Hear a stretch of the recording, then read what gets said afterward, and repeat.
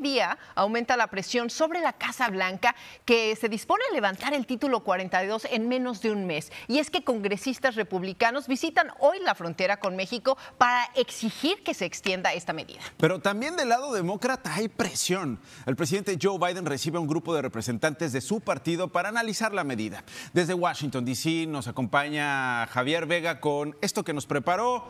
Javier, adelante. Así es, ¿qué tal? Buenos días desde Washington. Pues sin duda los republicanos van a multiplicar sus críticas al manejo del tema migratorio rumbo a la elección, pero con este fin del título 42 en la frontera, también están aumentando las voces críticas desde el lado demócrata, eso mientras la Casa Blanca mantiene su curso. Se intensifica la presión política contra la administración Biden por el inminente fin del título 42 en la frontera.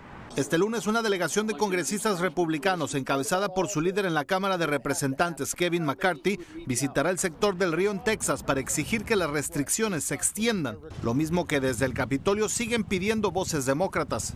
Sí, están escuchando a los activistas de migración, pero mi pregunta es, ¿quién está escuchando a los hombres y mujeres en uniforme?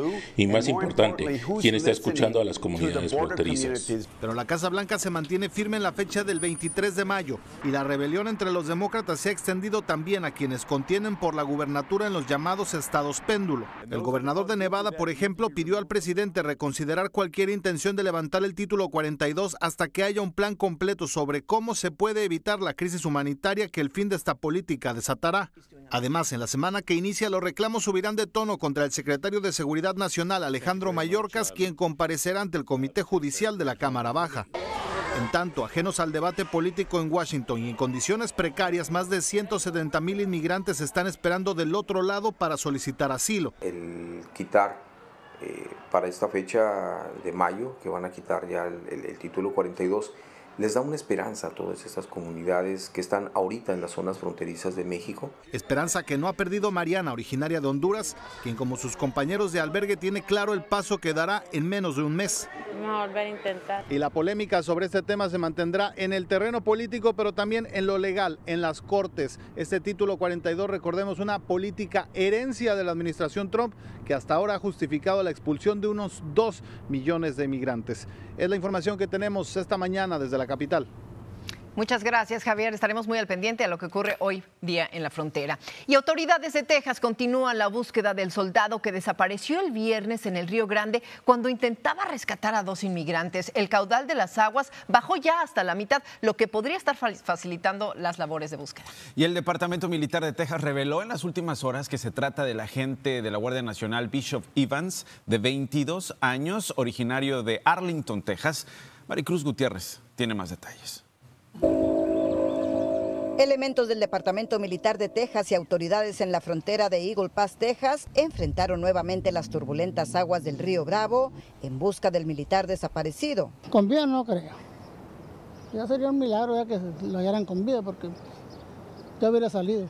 Este domingo las autoridades identificaron al soldado como Bishop y Evans, de 22 años, artillero de campo, oriundo de Arlington, Texas. El joven se unió a la Guardia Nacional de Texas en mayo del 2019.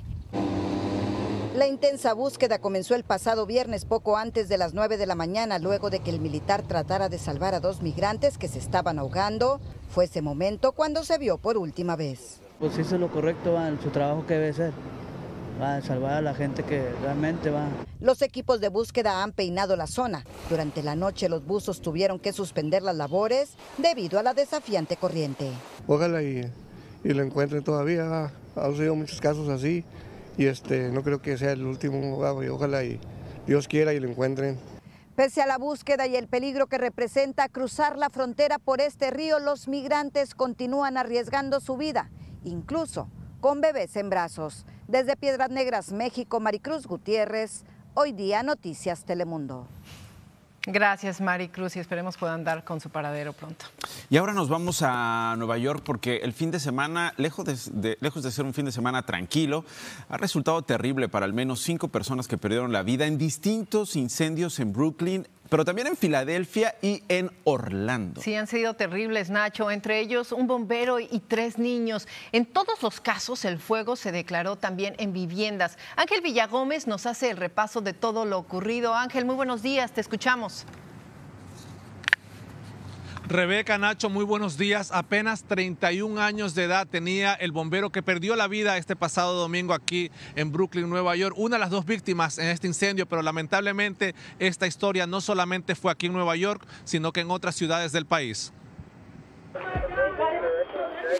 Ha sido un fin de semana infernal para residentes en varias ciudades del país. Más de 100 bomberos y unas 33 unidades respondieron a las tres alarmas por un incendio en un vecindario de Brooklyn, Nueva York, este domingo. New York City has lost Al menos un bombero y un civil perdieron la vida, seis bomberos más y otras dos personas resultaron heridas. Hasta el momento no se tiene información sobre qué pudo haber ocasionado el incendio.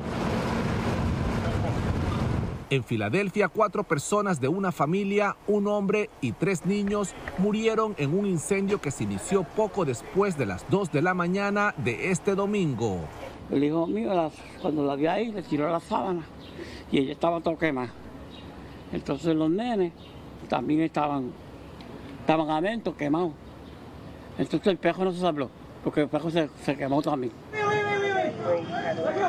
En Orlando, Florida, un bombero protagonizó el heroico rescate de una bebé de un año que quedó atrapada junto a su madre en un apartamento del tercer piso en llamas. El oficial trepó por el balcón y pudo tomar a la menor para ponerla a salvo antes de auxiliar a la mamá. Ahora, ahora, ahora, I'm coming. El incendio alcanzó a afectar a unas 12 unidades, mientras que un total de 24 tuvieron que ser desalojadas, otras tres más resultaron heridas. En este incidente atendimos alrededor de 22 eh, familias, 22 unidades. Eh, todavía estamos recibiendo de esas personas que estaban ahí.